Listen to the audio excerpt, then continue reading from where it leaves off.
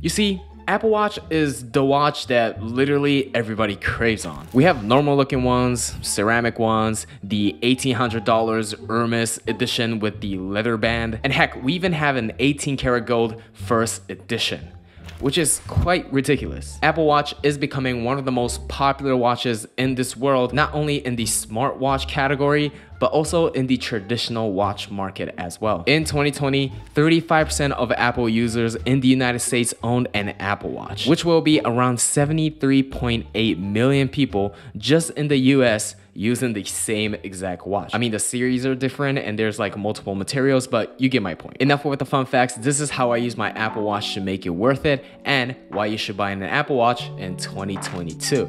Let's stop talking and let's get right into it.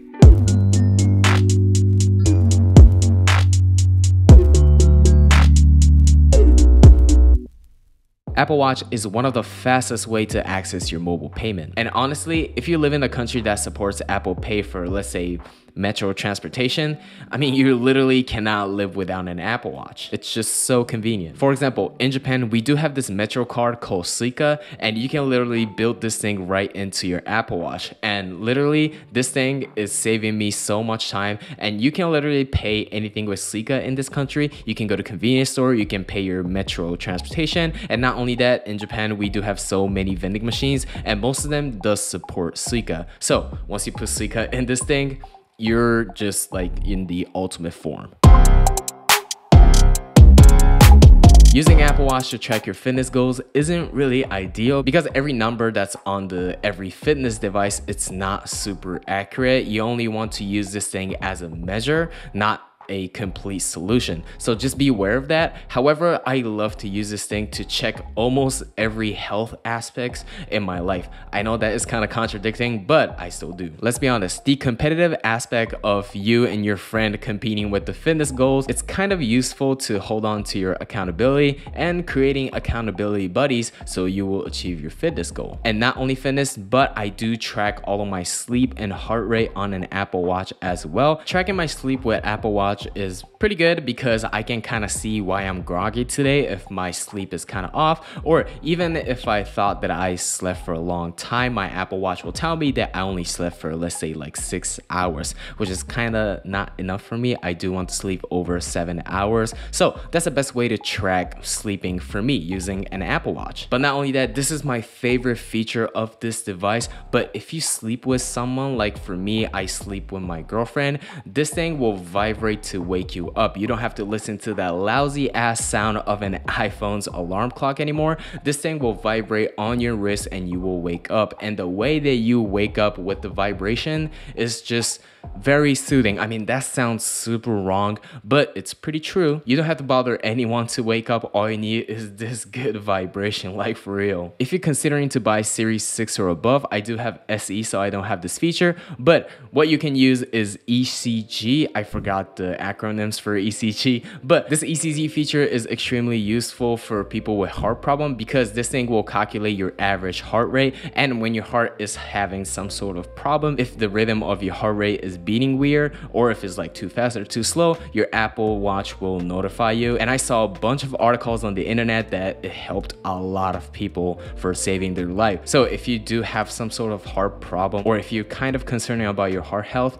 please get over Series 6 because this can potentially save your life. When you lost one of your Apple device, the best way to find that device is to use the Find My app. And you can use it on your Apple Watch as well. All you need to do is go to the Find My app and simply play the sounds from your iPhone. This literally saves so much time in my life looking for my phone. And not only that, but this thing show a map as well. So if you lost your thing like far away from you, if you have a cellular model, you can literally find any of your Apple device wherever you are from this thing. Or you can just ask Siri, hey Siri, where's my iPhone 13 yes. Pro? Where's my iPhone 13 I don't know about the bigger 42 millimeter, but if you have a smaller Apple Watch like me, it's kind of hard to type on your wrist. It seems that some people are not really complaining using the keyboard on this thing, but to me, I do have thick fingers, I guess, so I can't really use my finger to, you know, type on this device.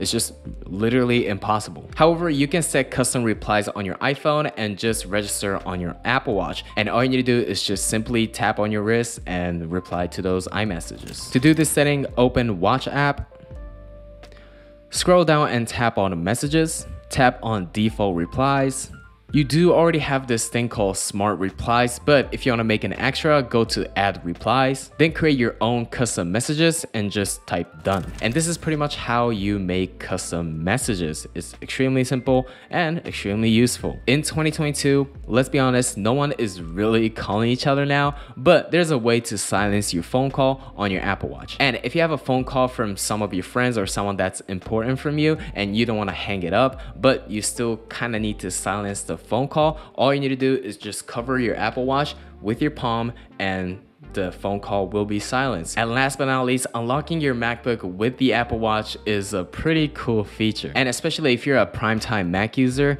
you definitely need this feature if you buy this device. To set this up, go on your Mac, go to System Preference, click Security and Privacy, and then click General. Select Use Apple Watch to unlock apps in your Mac, or select Allow your Apple Watch to unlock your Mac. But yeah, that's pretty much it. Anyway, guys, I hope you guys enjoyed this video. I don't know how many times I said Apple Watch on this video, but I hope you guys enjoy it. Apple Watch is a really cool device and it literally made my life a little bit, a tidbit more better than just buying a normal watch for me. And especially if you're a gym rat and you're playing music and you don't really want to touch your phone because it's low-key kind of distracting, Apple Watch is really good as well. And if you love to listen to podcasts or audiobook, using Apple Watch is one of the best way to control it. And not only that, if you get the cellular model, you will unlock way more features than the normal GPS Wi-Fi model. So I highly recommend the cellular model if you can afford an extra data plan or, you know, just if you have a bunch of data. only in the three gigs data plan,